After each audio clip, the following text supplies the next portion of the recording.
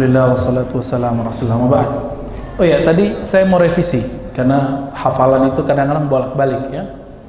Eh, mengenai hadis eh, Allah malakas itu bukan dari Tawus, bukan dari Waqid, tapi dari Muaz bin Zuhra dari Nabi. Nah, ini perlu direvisi biar nanti nggak keliru. Hafalan itu biasa kebalik-balik. Ini disebut eh, maklub ya. Eh, sekedar diingatkan aja ya. Eh, video eh, kajian kita ada tentang hadis mengenai Allah malakas itu cuma 8 menit nanti saya share ke Ustaz uh, Al-Nof biar nanti antum dengar di situ ya. Baik, ada pertanyaan pertama. Ustaz, apa itu dikit-dikit mudah orang membid'ahkan? Maksudnya apa ini? Apa itu bid'ah gitu kali ya? Oke, apa itu bid'ah, Pak? Yang kita tahu bid'ah apa? Yang nggak lakukan Nabi, Nabi nggak pernah ngaji pakai mic. Bid'ah dong. Nabi nggak pernah sholat pakai sajadah. Bid'ah dong, pakai sajadah kita. Nabi pakai sajadah tapi bukan sajadah seperti ini. Sajadahnya anyaman kurma. Itu pun jarang ya. Gimana kira-kira? Nabi sholat selalu beliau itu pergi ke masjid jalan karena rumahnya dekat. Jadi pakai nah, jadi kalau antum mengatakan bid'ah yang tidak dilakukan Nabi, ini bertentangan dengan Syekh Ibnu Taimiyah yang wafat 728 Hijriah. Tahu Ibnu Taimiyah digelari dengan imam salafi. Imam apa kata beliau punya kitab dua jilid Iqtida' Siratal Mustaqim. Apa kata beliau?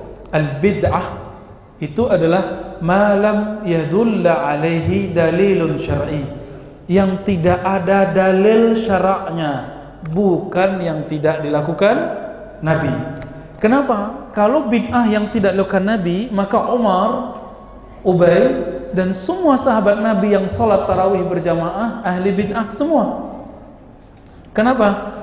Ubay bin Ka'ab memimpin sholat disuruh oleh Umar sholat tarawih 20 rakaat Sedangkan Syekh Albani mengatakan solat tarawih lebih dari 11 rakaat bid'ah. Kullu bid'atin dolalah. Setiap bid'ah itu sesat.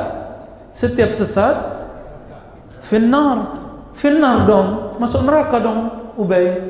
Berarti bukan hadis, bukan sahabatnya yang salah, pemahaman bid'ah kita yang bermasalah. Imam Ibnu Taimiyah nggak ngomong gitu kok. Padahal Imam Salafi, Padahal Imam Salafi, Pak. Ya. Jadi, apa itu bid'ah? Yang tidak ada dalil syaraknya. Dalil syarak ada berapa, Bapak Ibu? Ikhwan akhwat fillah ada berapa dalil syarak? Yang disepakati empat, tolong dihafalkan. Al-Quran, Sunnah, bukan hadis. Kalau hadis, hidung Nabi masuk di situ. Hidung Nabi mancung apa pesek? Berarti memancungkan hidung sunnah dong nggak masuk ya? Jadi sunnah bukan hadis. Ini beda sunnah dengan sunnah itu yang jadi dalil. Kalau hadis belum tentu jadi dalil. Quran sunnah. Ijma. Apa arti ijma? Kesepakatan sahabat. Walaupun Nabi tidak bahas. Nabi tidak lakukan. Yang keempat qiyas. Orang sini zakat fitrah pakai beras pakai kurma apa pakai duit atau di dompet doa pakai gesek? Pakai apa? Nabi pernahkah berzakat fitrah pakai duit? Nabi pernahkah zakat fitrah pakai beras? Gak ada. Orang sekarang lebih senang dikasih duit apa beras? Allahumma salli ala Muhammad. Berarti yang dimaksud zakat fitrah itu zakat yang dibutuhkan orang hari Idul Fitri. Apa yang dibutuhkan orang? Duit sekarang.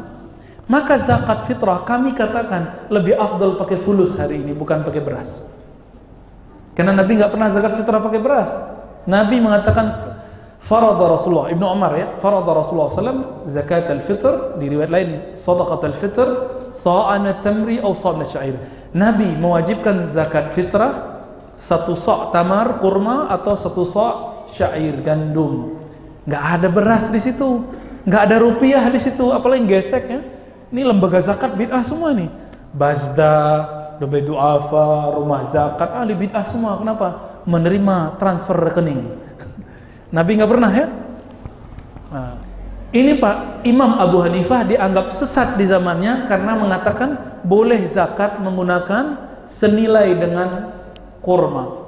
Dianggap najis oleh Imam Muhammad bin Zaid. Sama-sama imam, tapi mereka saling ejek karena info yang mereka terima salah. Kalau mereka tahu Abu Hanifah, mereka nggak akan bilang gitu.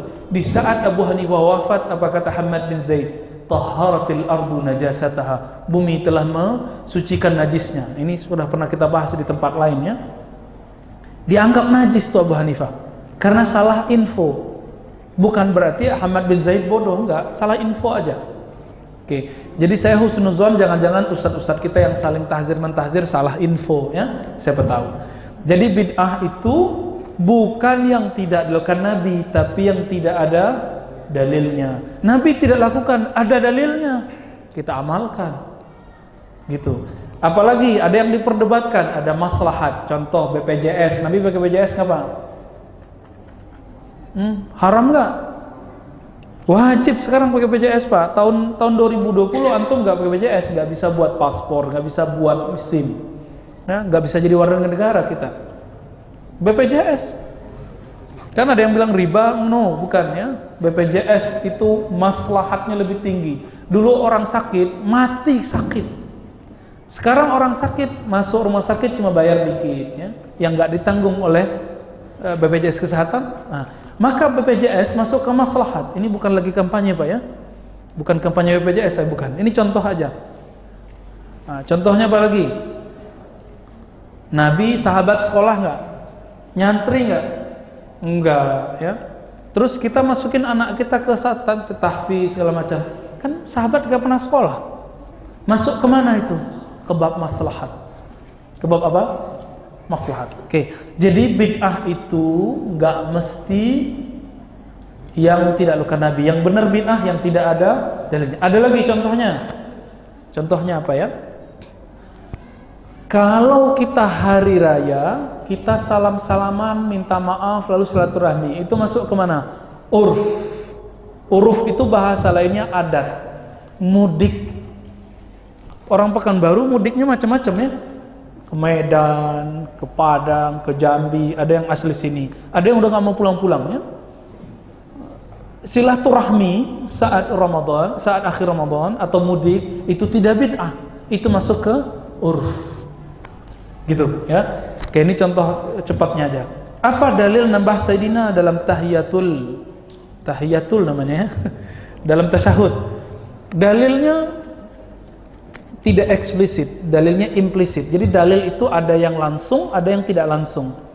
Dalil yang tidak langsung itu ada di Sahih Bukhari yaitu ana sayyidu waladi Adam wala fakar. Nabi bersabda, aku adalah sayyid junjungan keturunan Adam tanpa sombong.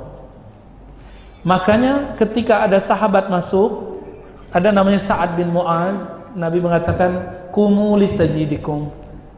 Bangunlah kamu menghormati sayyidmu.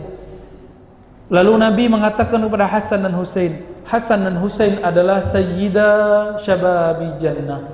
Adalah sayyidnya orang-orang pemuda di surga.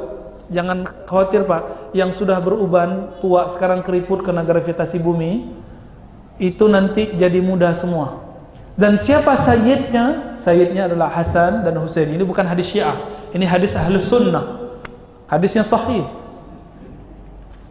Kalau Hasan Husain disebut Sayyid, Sa'ad bin Mu'az disebut Sayyid, maka Nabi lebih utama dipanggil Sayyid. Maka beliau bilang, Ana Sayyidu waladi Adam. Ini keturunan Adam apa keturunan Kirdun? Keturunan monyet. Keturunan kera apa keturunan Adam? Kalau benar keturunan Adam, maka antum dianjurkan membaca Nabi Muhammad Allahumma salli ala Sayyidina Muhammad. Sampai datang Imam Sakhawi dari mazhab Syafi'i, murid Ibnu Hajar, teman Imam Suyuti, kemudian diteruskan oleh Syekh Albani dan teman-teman Syekh Albani, Syekh bin Bas, Usaimin yang mengatakan di dalam solat bid'ah pakai sayyid Tapi kami diajarkan dulu rumus oleh guru kami Syekh Hasan Hitu.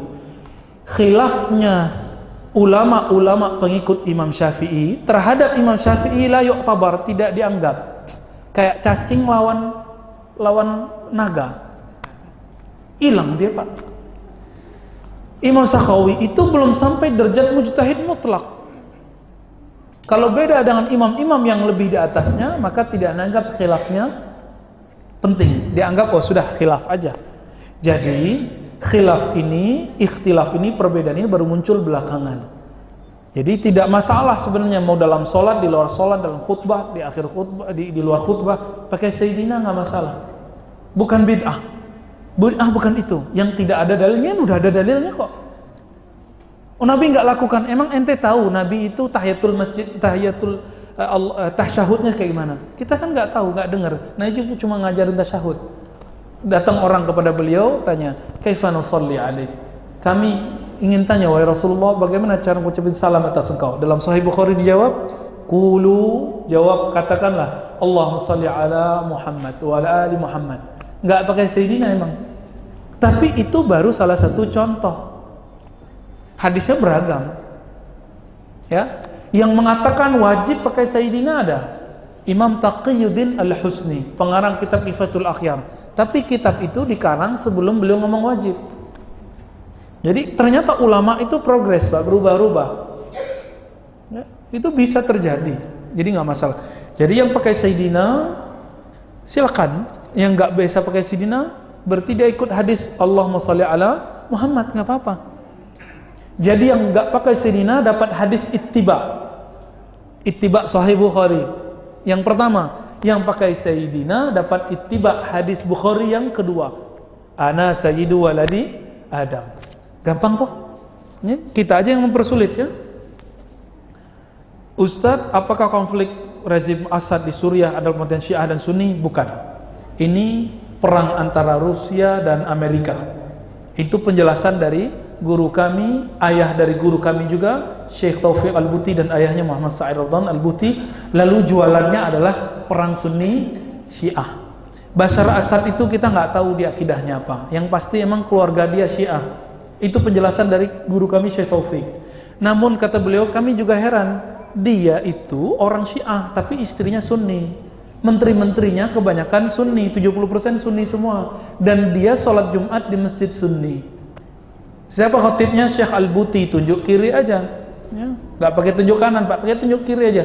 Dan Syekh Al-Buti keluarganya tidak pernah menerima hadiah, gratifikasi atau apa pun dari Bashar Assad satu persen pun. Tapi dituduh beliau pro Assad. Nah, itulah sedihnya. Makanya kami menghindari untuk bicara politik. Nah, khusus untuk uh, Suria ini bukan pembantaian Syiah dan Sunni. Ini skenario Amerika dan Rusia ya Turki bilang begini. Turki Menteri Luar Negerinya Pak bilang ke Assad eh Assad ente hentikan ngirim senjata ke orang Palestina. Pasti Amerika langsung berhenti. Oh kita kaget. Oh ternyata ada faktor X.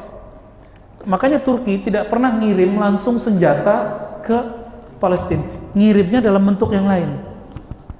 Bashar Assad dengan pesan dari Syah al-Buti katanya bantu langsung bantu pak makanya sampai hari ini kita nggak tahu Bashar Assad itu apakah dia taqiyah atau tidak wallahu alamnya tapi saya punya sebuah logika kalau saya raja, saya presiden, punya negara, tiba-tiba ada orang meruntuhkan negara saya.